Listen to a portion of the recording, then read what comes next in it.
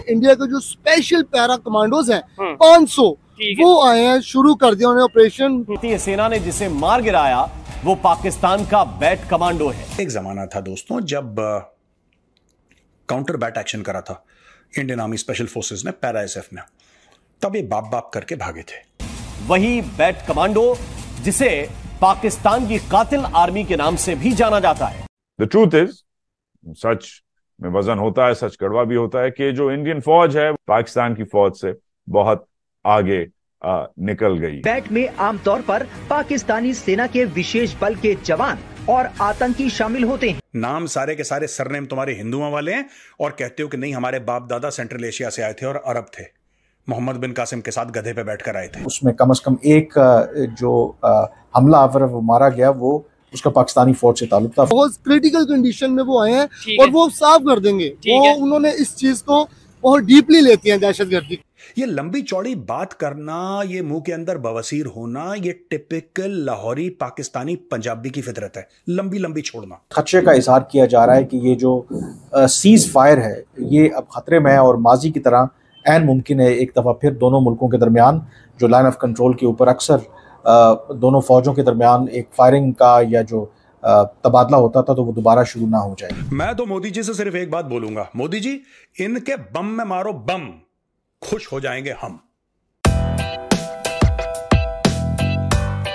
Incident पेश आया है। कश्मीर का कुपवाड़ा का इलाका है। वहाँ पर ये इंसिडेंट हुआ है और एज़ यूजल इल्ज़ाम उन्होंने पाकिस्तान के ऊपर आयद किया है। जो भारतीय फ़ौज की तरफ़ से बयान सामने आया है उसमें उन्होंने कहा है कि दो से तीन जो आर्म्ड मिलिटेंट्स थे वो पाकिस्तान की साइड से दाखिल हुए क्योंकि लाइन ऑफ़ कंट्रोल के ऊपर मौसम ख़राब था और उसका एडवांटेज लेते हुए वो दाखिल हुए और बहुत करीब से जो फ़ौज की भारतीय फ़ौज की एक पोस्ट थी, उसको उन्होंने निशाना बनाया, जिसके नतीजे में जो एक भारतीय फ़ौजी है वो मारा गया और दो जो हैं वो उसमें ज़ख्मी हुए हैं और जो बाकी जिन्होंने हमला आवर थे उनको मार दिया गया है। कुछ जो भारतीय टीवी चैनल्स हैं वो ज़रा से ये खबरें चला रहे हैं कि ये उसमें कम अज़ कम एक जो हमला आवर वो मारा गया, वो उसका पाकिस्तानी फ़ौज से ताल्लुक था। अच्छा दोस्तों, ऐसा है कि बैट एक्शन हुआ, बॉर्डर एक्शन टीम पाकिस्तान बनाता है, पाँच छह लोग होते हैं उसमें, कुछ Pakistani SSG, special services group, जो पाकिस्तान आर्मी स्पेशल फोर्सेस हैं उनके कुछ एलिमेंट्स होते हैं और कुछ होते हैं जो hard core battle harden terrorist होते हैं। ठीक है?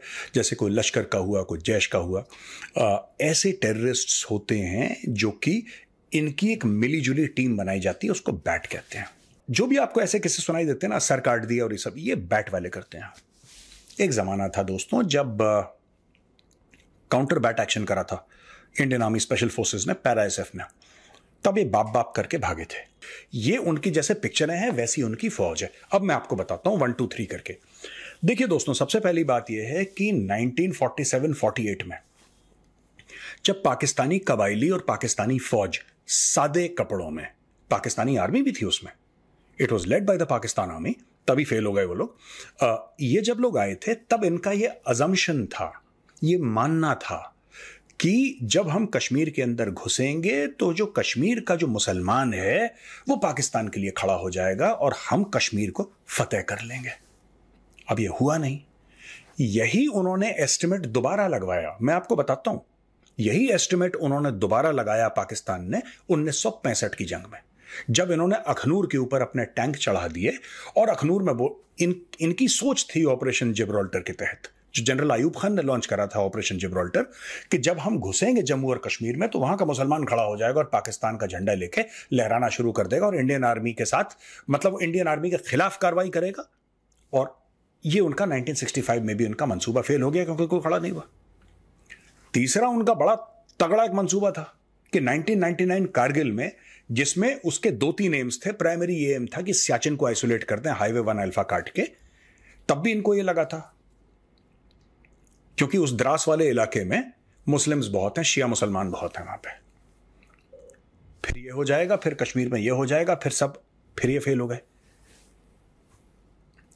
जब इन्होंने कारगिल में अटैक करा, तब पाकिस्तानी मंसूबा यही था कि हम अटैक करेंगे और इंडिया कुछ नहीं करेगा। जब इंडिया ने एयरफोर्स इस्तेमाल करी और डायरेक्ट फायरिंग रोल में बोफोर्स इस्तेमाल करी, फिर ये लोग सरप्राइज़ हो गए कि ऐसा कैसे हो सकता है।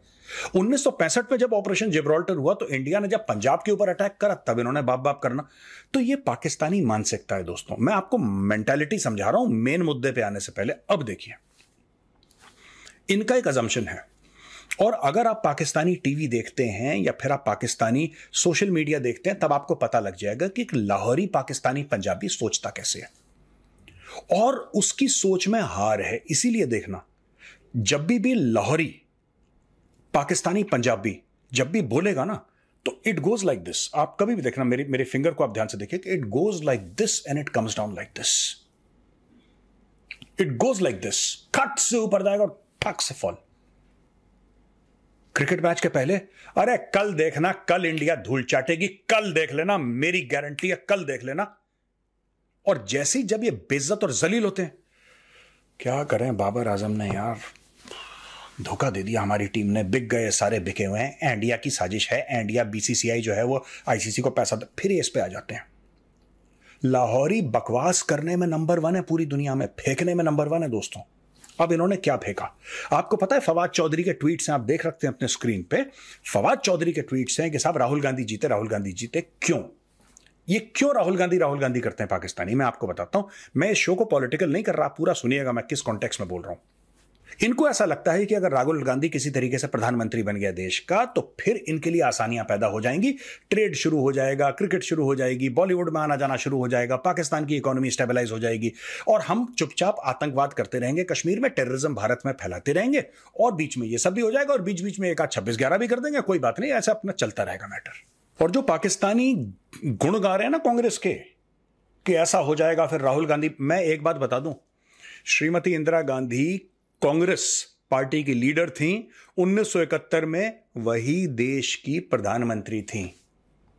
एब्सोल्यूट मेजॉरिटी थी, और श्रीमती इंदिरा गांधी ने बोला था कि ये जो ईस्ट पाकिस्तान है ना, मुझे बांग्लादेश चाहिए, जो तुम्हारे देश के दो टुकड़े करे हैं जो तुम्हारे देश के दो टुकड़े करें और कौन सी पॉलिटिकल पार्टी थी? ये भी ध्यान रख लेना, तुम लोग बेवकूफ़ के बच्चे हो, तुम्हें खुद का इतिहास नहीं पता, खुद की तारीख नहीं पता। ठीक है? नाम सारे के सारे सरनेम तुम्हारे हिंदुओं वाले हैं और कहते हो कि नहीं, हमारे बाप दादा सेंट्रल एशिया से आए थे और अरब थे। मोहम्मद बिन कासिम के साथ गधे पे बैठकर आए थे। तो इनका यह अजम्पन है कि क्योंकि कोएलिशन की गवर्नमेंट है और बीजेपी की एब्सोल्यूट मेजोरिटी नहीं है राइट इसीलिए मोदी जी प्रेशर में आ जाएँगे और इसीलिए हम सब तो ये सोच रहे हैं कि क्योंकि मोदी जी की सरकार कोएलिशन गवर्नमेंट है, इसलिए कुछ नहीं होगा। One of the reason they are doing BAT is this हाँ ठीक है। उसके स्ट्रेटेजिक एम्स हो सकते हैं कि भाई यहाँ पर चुनाव होंगे, हम उसको डिसरप्ट करेंगे। जो मोराल गिर गया है टेररिस्ट का मोराल को दोबारा रेस करेंगे। हम चाइनीज़ से पैसे लेके यहाँ पे कुटपुट कुटपुट करेंगे कि फिर वहाँ से लाइन ऑफ़ एक्चुअल कंट्रोल से सोल्जर्स उठा के यहाँ पे डालने मजबूरी बन जाए और वहाँ पे गैप हो। ये सारी चीज़ें बैकग्राउंड में चल रही हैं। लेकिन जो पाकिस्तानी पंजाबी है, उसका माइंडसेट वही है दोस्तों, कि कोalition की सरकार है, इसलिए हम फ़ायदा उठा सकते हैं और ये काम वो पहले कर चुके हैं। और मैं उन लोगों को पैगाम देना चाहता हूँ जो जिहाद के नाम पे, जो और बहुत सी मज़हब के नाम पे नाम पे हिंदू मुस्लिम के नाम पे जो फसादात और जो इस तरह की दहशत गर्दी करते हैं वो अलर्ट हो जाए। उनकी नींदें हराम कर दी गई हैं।